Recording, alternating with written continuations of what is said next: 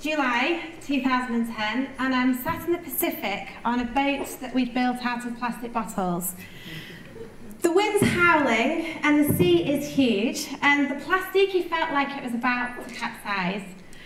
And I'm the skipper, responsible for the lives of five boys, and I'm thinking to myself, have we gone too far in our quest to stop billions of tons of plastic being dumped into our sea? They'd been expecting bad weather, but nothing could prepare the crew for what hits them. Big wave! Big wave! You can barely hold this camera steady. The sea is just monumental. Look at that. Woo! Big wave!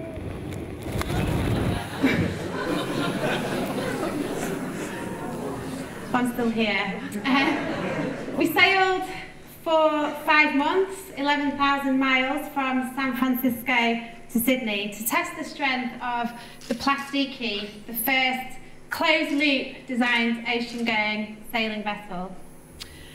I've been a sailor ever since my dad left me alone in a dinghy, age seven. It was the start of a lifelong love affair with our ever-changing liquid planet. When I go to sea, I check in with my sense of place in the universe. It reminds me that what really matters is our relationship with nature. And it teaches me that our survival is dependent on the respect we hold in our relationship with nature. My journey to the Plastiki started eight years ago on a beach in the South Atlantic island of South Georgia, looking out towards the Antarctic. It had taken us eight weeks to sail there, and I'd wandered off for a moment with myself. It was absolutely beautiful and astonishingly remote. There were hundreds and hundreds of noisy penguins and fur seals. And then Amongst the bleached whale, white whale bones and natural tones, bright orange, blues and greens, plastic. I'd gone from a moment of feeling so calm and connected, like the only woman on the planet, to having this tranquility shattered by a human footprint. And it just made me feel so sad. From that moment on, I knew that it was going to be a change of tack for me.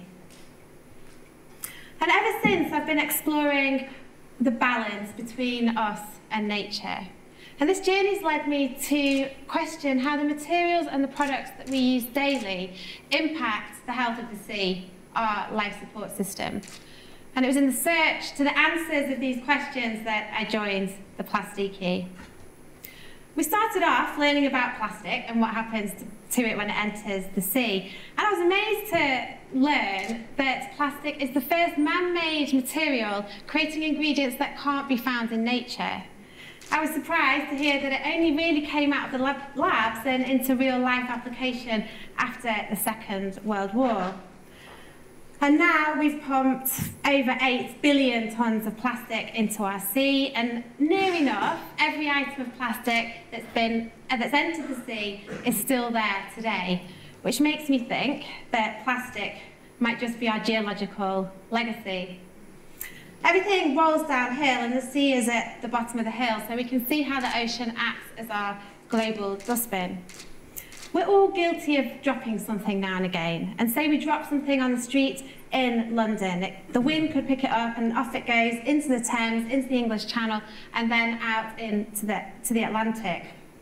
Now, due to the constraints of landmass and the impact of current and wind, you get these vast rotating currents known as gyres.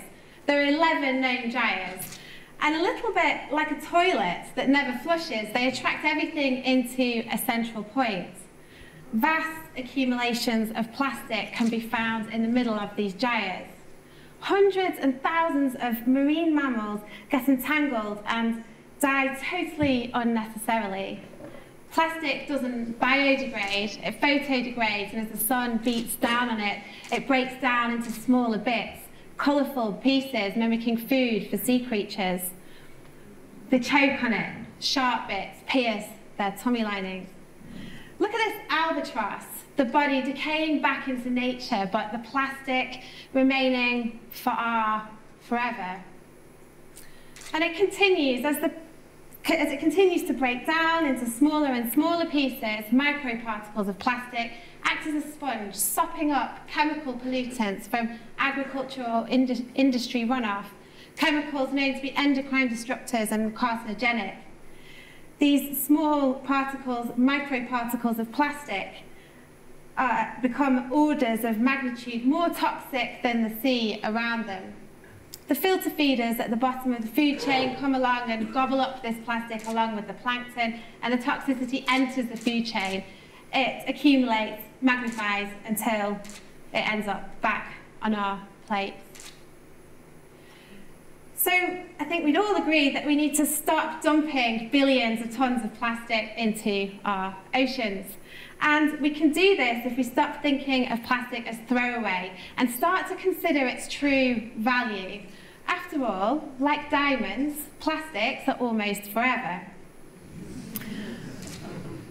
We decided that we were going to build a boat that would demonstrate closed loop design, i.e. using sustainably sourced materials or materials that could be reused or upcycled. We wanted to give our boat the biggest test imaginable, so we sailed it across the world's largest ocean the method and the madness that if we could build a boat that could be upcycled, then everyday products might just follow suit. We started off by collecting 12,000 plastic bottles from waste recycling centres. And these bottles form the boat's buoyancy. They actually also attracted the curiosity of the world's media and we became known as the plastic bottle boat. Now these bottles symbolise the importance to reuse single-use plastic. But this alone isn't going to solve the problem. As we stood around this mountainous pile of bottles, we had yet to find the material that we were going to use to hold these bottles together. And this material had to demonstrate that plastic can be designed to have several applications um, and several uses. Creating a value for plastic that makes industry want it back, like we've done with steel and aluminium. It's important to consider a product's entire life cycle on the planet before we create it first. And if we just look at this toothbrush here, it's got four different types of plastic materials bonded together. They can't be separated to be recycled. So what, we use our toothbrush for three months and it lasts a lifetime on the planet and we see them on beaches washed up all over the world. After searching and searching, we eventually found this srPET, which we used to build the Plastiki superstructure from. It's a very clean monomer material, a thermoplastic, changing form at a certain temperature. It's got two weaves running through it, and when heated, one melts and forms the bond, and one stays intact and forms the structural integrity. It maintains many of its high properties through the recycling process, so now we're using this this material to build a boat, and then we can upcycle it, build another boat, or even a plane. The material hadn't been used to build anything before, so it didn't come with any manuals, and it took us months and months to get to understand how to build a boat from it, and then to mimic the tons and tons of force that the ocean would eventually put through it. But of course, the biggest test came when we set sail to cross the Pacific. And after fairly limited sail trials and with a fairly green crew, we set sail underneath the San, Francisco Golden Gate Bridge and pointed to Sydney. We quickly learned that the Plastiki had a life of her own, and we certainly had many months to get to understand how the material worked. As we sat for days and days motionless in the tropical heat, we saw how the material contracted and relaxed. And as we fell off those almighty waves, we saw it twist, but come back to its original form. You know, the best thing about being involved with the Plastiki was that it formed a platform to invite curious minds to explore. And the Plastiki wasn't built by one naval architect and one boat builder, but it was the joining of minds of, of um, material scientists, engineers, storytellers, ecologists, and backyard inventors.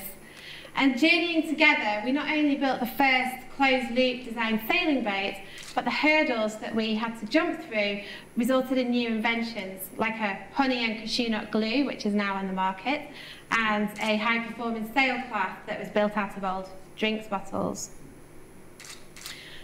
But what have I learned about plastics? Well, when I stood on that beach in South Georgia, plastic was definitely the villain. And now I've learnt to appreciate its material qualities.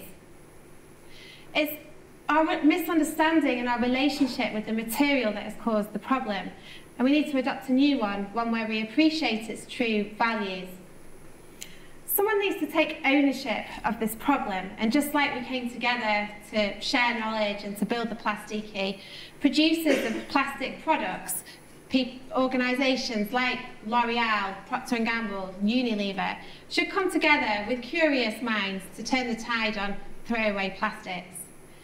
We would see far less plastic in the sea if every product that hit our shelf came with a closed loop guarantee, an assurance that the material ingredients are as safe as possible, that the product can be disassembled after its application, and that each material in that product has a reuse value. We do need to map out the whole life cycle of a product on the planet before we even build its first. And we should take the lead from nature's design principles, where there's a constant cycle of death and rebirth. I think if we can build a boat with this philosophy in mind, we can build everyday products like a toothbrush. Thank you very much.